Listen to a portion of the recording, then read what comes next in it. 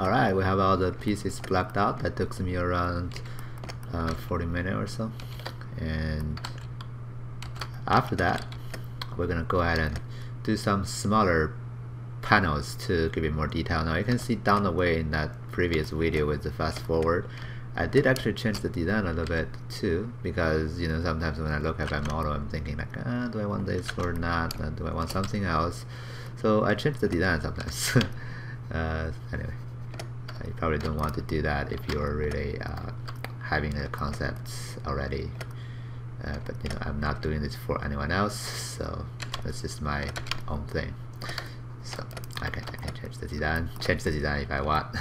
Anyway I'm gonna go ahead and do some smaller panels. Let's say I want to have some uh, you know little panel here maybe on the top of this guy I'm gonna duplicate this guy. And for the new one, I'm gonna control shift and click on the top part. I'm gonna do a delay hidden so I can have this part isolated. And then I'm gonna use this slice, uh, slice curve to slice out the shape of the panel I want to create. So maybe something like this, going towards the front. Just doing half of it so I can do mirror and while to mirror it so I have that. Okay. Anyway, this is a little panel I want to create. I'm gonna do delay hidden, maybe a little circle here in the middle. So I'm gonna go uh, slice curve with a circle here. Shift and drag that out. And then also delay hidden on that part. Again, then ZRemesher it with the same polygon should be good. Turn on symmetry when you're doing ZRemesher so that it's symmetrical. Right and use the same and do it multiple times until it's figuring out a really good topology for it. And then I'm gonna go use this panel loop thing to create the thickness. Now the panel loop have some downsides like it's polishing things I'm gonna turn off that. I just need two loops. And maybe not that much bevel either. And let me have a bigger thickness. Uh, sometimes it doesn't really do a good job here. I guess it's because of my model is actually having some trouble here. I'm gonna go, go uh, use the uh, uh, move to move them really close to each other. And then I do a mirror and weld so that should fix the problem. Or not. I'm gonna do this little trick here under this geometry. Multiple topology. There is a merge or weld points drag the distance to something a little bit higher. A little bit higher than that. Okay until it's able to merge those guys okay. Anyway I'm gonna go ahead and do panel loop again. As you can see pops out nicely. And that's maybe too big. Thickness can go a little lower. Okay that's the panel I want. Alright I'm gonna go ahead and do a edge loop to make some of the shapes sharper. You can use slice curve to slice out very complicated shapes and use that to create panels. Now control click when I'm using move and scale this guy up or inflate this guy up. Okay, just wanted to make this more straight. You know I don't quite like this. Uh, this bevel here, I'm gonna go for delete loop complete to delete that uh, loop I created. I'm gonna use extrude poly loop to drag this guy out. And I'm gonna delete this guy in the middle. So that gives me the steeper bevel. Yeah. So some fancy techniques uh, that you can use. Now the reason I don't just push it out using this is because that's going to destroy some of the sharp edges on the corner. As you can see, the corner loses its sharpness you extrude it out uh, with shift, as you can see. But if I just extrude it out without shifting and delete that line, this is still maintained as a sharp edge like that. Anyway, so now I have one more little panel here created over there. And maybe for the this part on the back, I can also do another panel going a little bit differently. So you can keep adding those cool details now. Right. So I'm going to duplicate this model again. Those are the secondary panels. That's one more pass I will go for. Uh, delete hidden again uh, the, the way I isolate those two groups together is Control Shift and click on any sharp point. It's gonna give me, uh, you know, uh, two groups isolated. So let's see. I kind of want a uh, let's change my slice curve back. Maybe I wanted a uh, a panel like mm, just maybe maybe a little gap here. Delay hidden actually before I do that uh, I need to maybe cut a little bit more. So maybe all the way to here. Maybe rotate a little bit and rotate back. Do mirror and weld to have the other side. And then I can just shift and double click on the ones I don't want. Do delay hidden, delay measure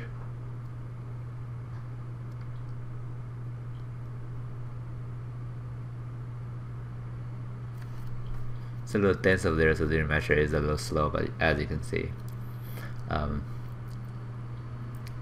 I'm gonna basically go through this process to have secondary panels uh, because uh, the original block out is good but it's not very good I guess. So I'm gonna go I need more details that's why I do this. I'm actually just gonna need a really simple geometry. I should have done this actually uh, earlier to make this guy just really simple to start with. As you can see, um, whoops, I'm shift and click on this guy. I'm to do delay hidden. I have something on the back. you can see this workflow is, um, you know, I, I really enjoy this workflow so that I can use some sort of like half hard surface, half ZBrush sculpting way to, you know, uh, create my shape.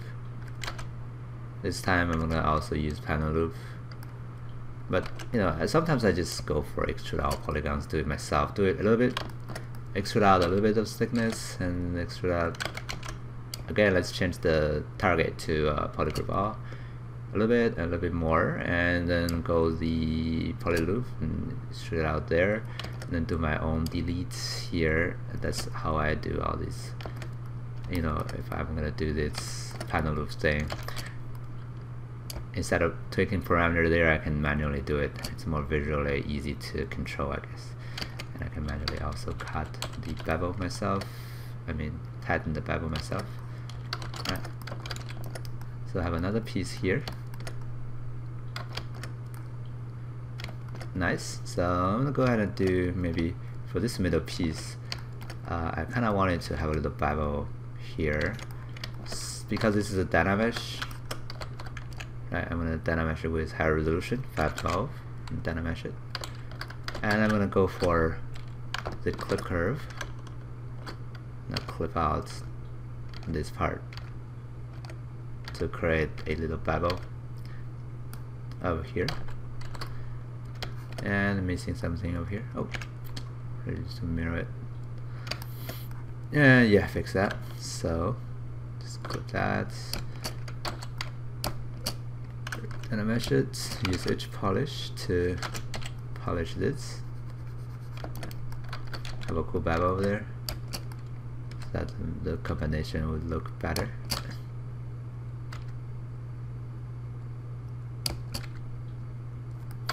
You can keep designing and thinking about what you want and ends up with you know a different shape if you wanted to. Um, so you can design whatever you want with ZBrush uh, hard surface workflows. It's really, I think it's really good. Anyway, so now we have this little bubble here. And what's, what else do I need? Mm, maybe I want something here on the back. Maybe we can add those things like later on, but um, there's a technique called Live Boolean which we will visit later on and that can be useful on some of the smaller circles like that that we can actually use that boolean to do the, do the thing um, but yeah there are just many options now. Um, so let's say maybe I, I, want a little panel over here I guess. So I'm gonna do that. Duplicate my model. And I'm gonna use slice curve. Control W to give them a simple groove and I can slice curve it. So I need a little panel going this way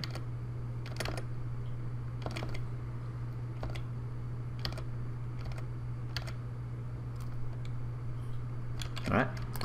I'm gonna do mirror, mirror and welds to get its mirrored. Control shift and click on this guy, delay hidden. I want to cut that out, so slice that out. Mirror, mirror and weld again to mirror it. Control shift and click on this guy and do delay hidden. And do the same thing on this guy. Oops. Have to do delay hidden here.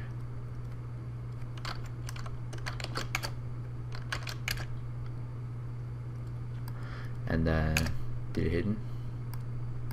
Anyway I'm gonna ZRemesher it. So that's my workflow right? You for smaller panels and things like that. It's too low maybe higher than that. And then I can use the same and ZRemesher it multiple times so that I can figure out a better topology for this guy. And this time maybe I can just do a cheap panel loop here. Oh something's wrong here. I'm gonna do a auto group Shift and click on the middle part and then delete hidden. That's what that way I can guarantee that I just have this piece, have some more thickness and panel loop it out, and that's my other piece. And then I'm gonna go ahead and create a edge loop here.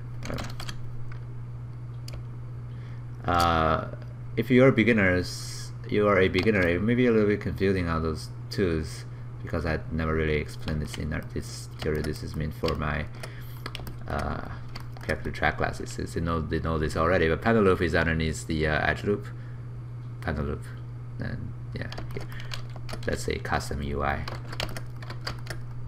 Anyway, another piece being created. I like this fluid line here, which is cool, right? What else? Um, you know, I'm gonna again go in the next tutorial, go through the process of creating secondary panels uh, across the model and it's gonna be again a fast forward like last one. And then we're gonna move ahead and use more leveling techniques to populate really tiny details. Okay see you next time